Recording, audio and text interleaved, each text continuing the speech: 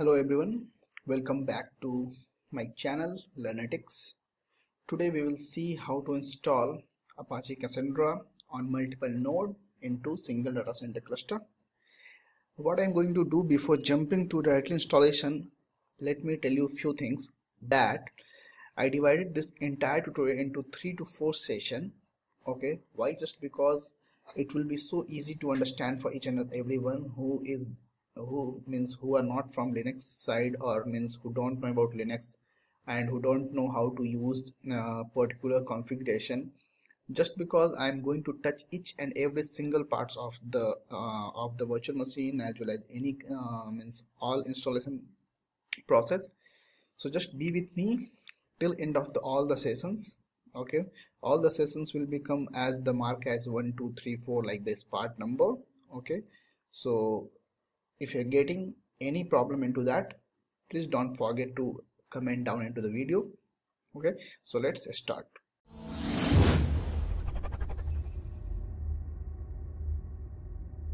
My, my first part into which i'm going to do my virtual machine setup. Okay? So before uh, downloading anything let me tell you that what is the required software which need entire this process. So first thing is Oracle VirtualBox. Second thing is CentOS ISO. Third thing is uh, SSL client. Uh, here you can use either MobaXterm or either Xshell. I'm going to use MobaXterm. If you have Xshell, then no problem. Okay, but I will recommend to try to use free edition. Okay, and the last thing is Apache Cassandra, which we will download from the uh, particular websites. So in the red color I put down all the particular link which by which we are going to download each and every software. Okay? So let's start. Just go and open virtual box machine. Just click.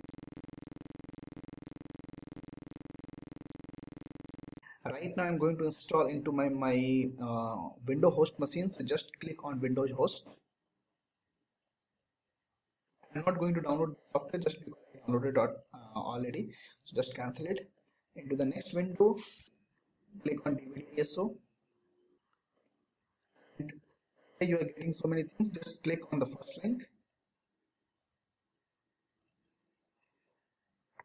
Approximately 4 GB software. I also type mobile stream. Click on the first one click on download. Just here you able to see for the home edition. And here again you are getting one portable edition and one installer edition. Just click on edition. It will come into the, into the zip format. I also downloaded that one before. So just cancel it right now. And suppose if you are not you also a very good uh, SSH so just click download okay. Getting to download a link. So just click any of one. So just click first one.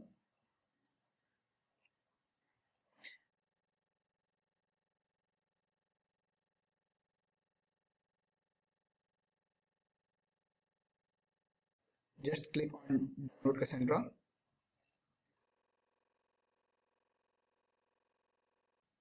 Click on the onto the first link which is uh, to install it click run. Click next. And just go default during the uh, installation of Oracle VirtualBox so just click next. Here just no need to uh, worry about anything. Just click next. You are getting one network interface warning. Okay? You are, don't want to read it. Let me tell you what exactly. During installation Oracle Virtual Machine means Oracle virtual box will check the ports and all the things. So it will disconnect maybe disconnect your uh, connection network connection for partially time. So no need to worry just click yes. Install. After that click finish so this is your virtual box manager. What you have to do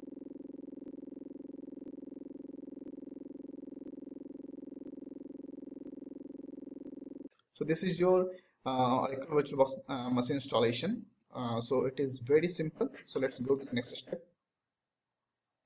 Okay. One more thing, you have to ask your network administrator to provide you like uh, if you are if you want to install three uh, three node cluster or four node cluster, you have to ask your network administrator that please give me three different different IP address by which you have to uh, use that particular uh, IP address into the further use okay?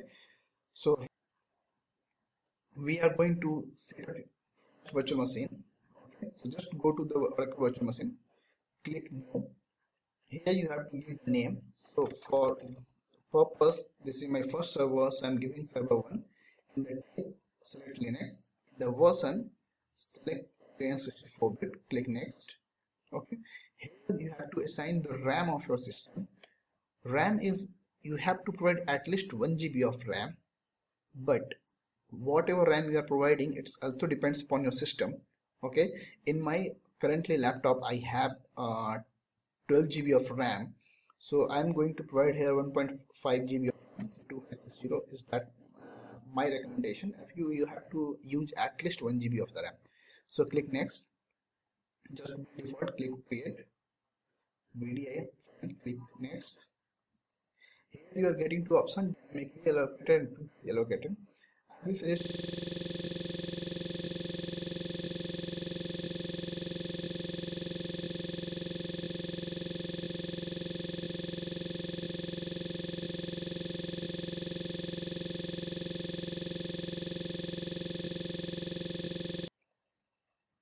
okay so this is your uh, server one which is created.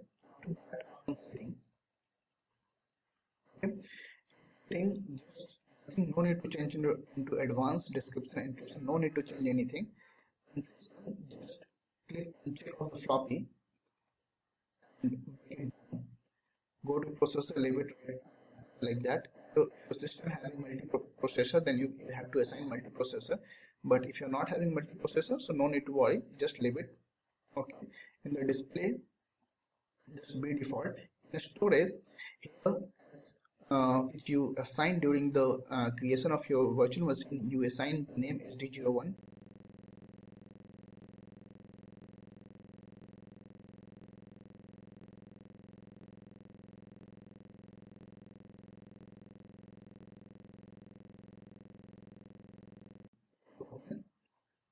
go to audio because I'm, uh, I'm not going to use any audio system and all the things.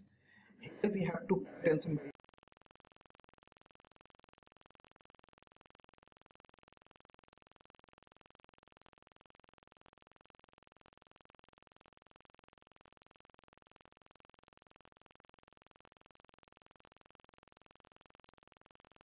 okay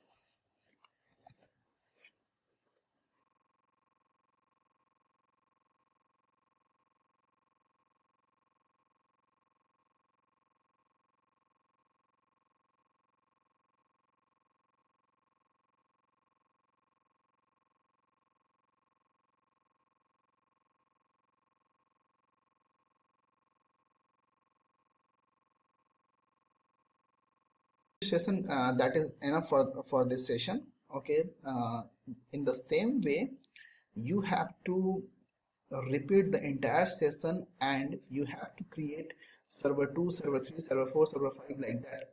Uh, number of server uh, number of machine uh, which is equal to the number of nodes let me show you.